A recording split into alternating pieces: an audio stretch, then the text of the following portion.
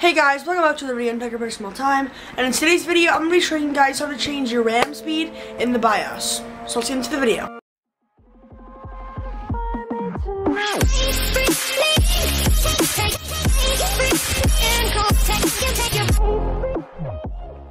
Alright, so the first thing you want to do is see what your max memory speed is for your RAM, so you can either do that by checking the box that came in, or by taking it out, and on the side there should be a sticker that most of the time says what speed it is and if it's DDR4, DDR3, or whatever type of RAM it is. So for me, I'm gonna look on the box they have.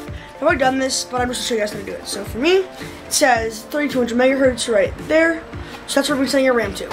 So the first thing you wanna do is turn your computer on and then spam the Del button to access BIOS. Now I have an MSI motherboard, so it'll say MSI, like it'll be the MSI BIOS, but it should be the same for every other motherboard.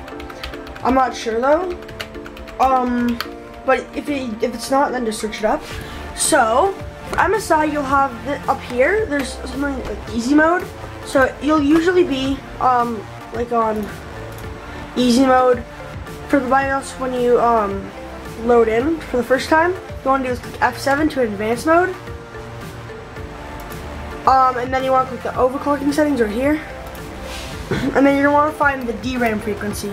So right there. Now you want to click this here in frequency.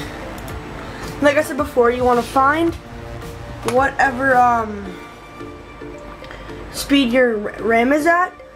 So mine's at 3200 megahertz, so I click 3200 megahertz. But if your RAM was 30,000 30, 30,000 megahertz, 300, sorry, then you click that, and then it would be 30, 30, I can't say it, 3000 megahertz. Same thing with all the other um, options. So we're gonna change ours to, where is it? That's back here, where's up? Change our RAM back to 3200 megahertz, right here.